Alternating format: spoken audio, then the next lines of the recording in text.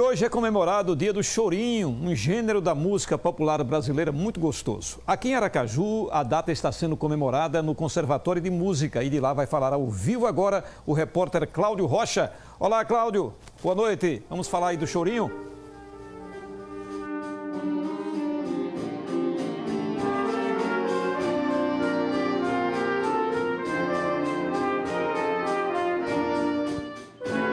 Olha, Gilvan, muita música boa. Nesse momento, quem se apresenta é a banda do Conservatório. O repertório inclui composições de Valdir Azevedo, Jonas Pereira e agora uma homenagem a Pixinguinha, que hoje completaria 121 anos. Vamos acompanhar.